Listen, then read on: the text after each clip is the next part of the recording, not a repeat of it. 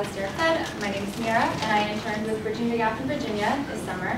Um, so, just to get started, I'll give a quick overview. There's Richard right there in the room. um, so he's the founder and CEO, and his partner Dallas Bell is the executive officer. Um, Virginia Gap in Virginia has been operating since 2009, and they do criminal justice, restorative justice services. Um, they do comprehensive pre and post release uh, restorative justice to returning citizens.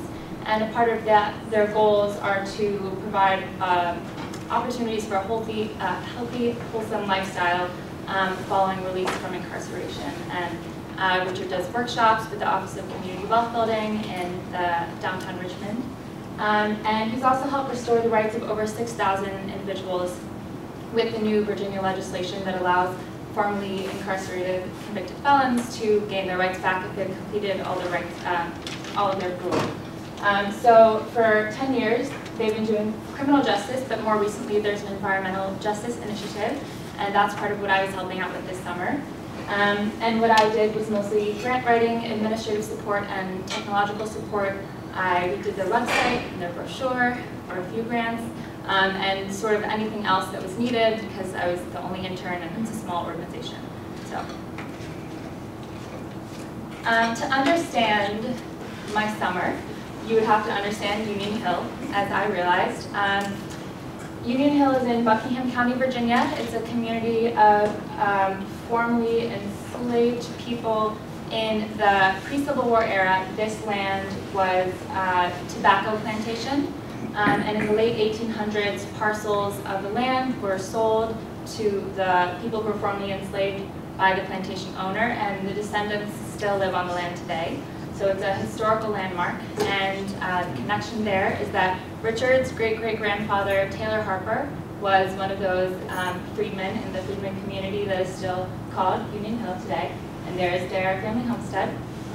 Um, and the bad news and the reason why my internship was related to Union Hill this summer is a very timely issue of Dominion Energy trying to put a pipeline through the land and take some of his family's land, claiming eminent domain. And I don't want to get too political, but a lot of this was um, related to that struggle with Dominion Energy. And it's been a years-long fight, and it's held up in the courts. So a lot of what I was doing was also helping to bring recognition to Union Hill, um, which we did.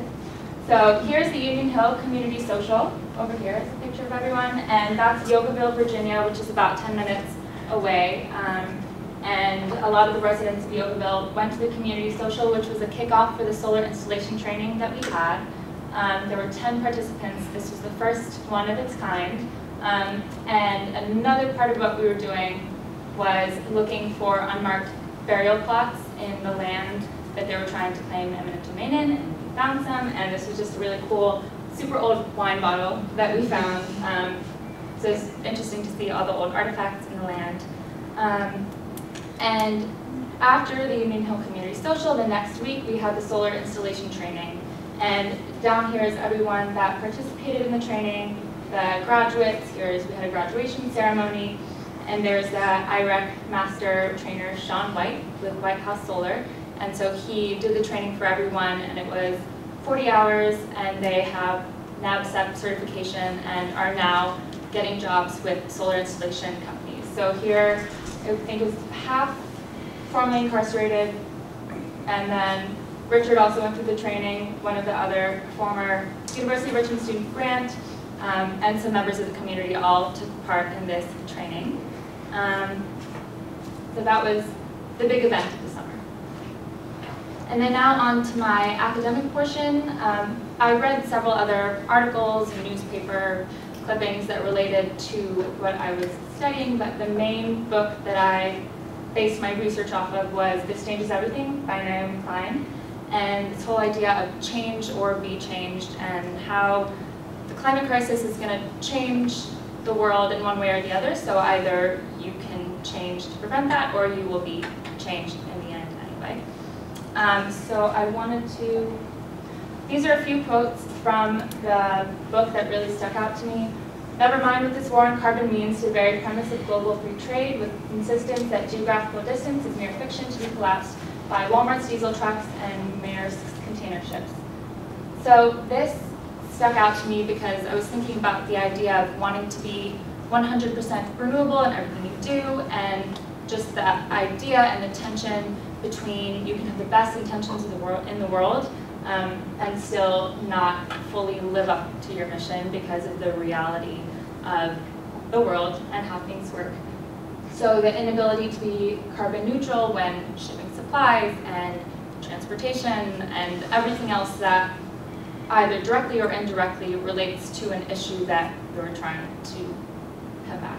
So the contradiction between the hopes and then what is actually feasible um, and organ organizations promoting green energy being entirely green is sort of a kind of impossible, at least for now, in the world we live in, um, which was, yeah, and so my, for my academic portion, it wasn't traditional research with a question and an answer, um, but it more just gave me a new lens through which I looked at issues that I already knew existed. So the idea of dirty money Relationships are also more structural than mere donations and partnerships. The Nature Conservancy, which is an environmental agency, counts BP America, Chevron, and Shell among the members of its business council, and Jim Rogers, chairman of the board and former CEO of Duke Energy, one of the largest U.S. coal-burning utilities, sits on the organization's board of directors. Um, so connected organizations and associations with questionable practices and questionable origins of where the money comes from, and at what point would you not accept money because of its origins or take it anyway because you need it? Um, and here's just a short clip that explains the book. I hope it'll play, if not. Majority of the human race does not see global warming as a serious threat. Celebrate! Climate legislation is dead we, in the global north, with less than 20% of the population, are responsible for over 70% of global emissions. We are drilling all over the place.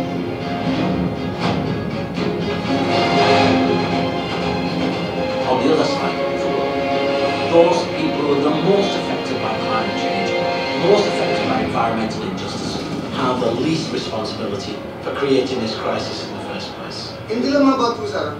Inil saro, inil na takong bas.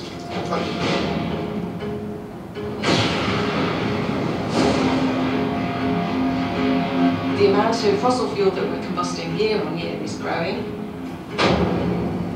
We're going in completely the wrong direction. I've spent six years wandering through the wreckage caused by the carbon in the air and the economic system that put it there. That old paradigm will be forced to change, either by the environment around us or by us. Part of this movement!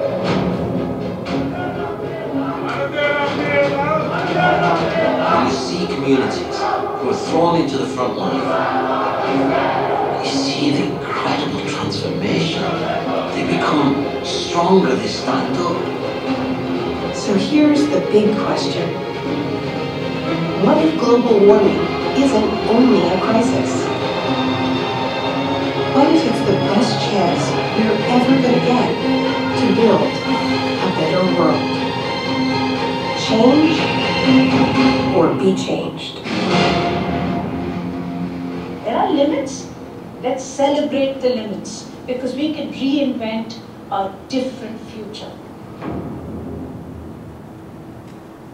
So, um, one of the things they said is the people that are most affected are the least responsible. And in one of the other readings I did, it also added, and they're furthest away from power to change that. Um, so some of the lacks in the literature, um, what does this mean for a small grassroots nonprofit organization trying to combat these issues? Um, and, you know, these effects of climate change aren't just happening on the other side of the world, it's happening in the US, it's happening in Virginia, and it's happening right outside of Richmond. Um, and it's easy to turn a blind eye to it when it's not directly in your community, but these communities in the state and in the country and around the world are affected by these issues and are furthest away from the power to change that. Um, so Naomi Klein says that it might be an opportunity, and that's one of the um, sort of missions behind this growing environmental justice initiative of Bridging the Gap in Virginia, um, of green workforce development. So, you know, taking marginalized communities or formerly incarcerated individuals who have, who struggle to find jobs because of the way that the laws are and the way that the structure, the structure of the system works, and then taking these issues of, you know, the lack of renewable energy and wanting to promote renewable energy and combining them into one idea of green workforce development. Um, and then, yeah, so it was just a new lens through which I saw these issues. I didn't answer any questions this summer, and I still have very many. Um, but yeah, so that's the academic component of what I did this summer.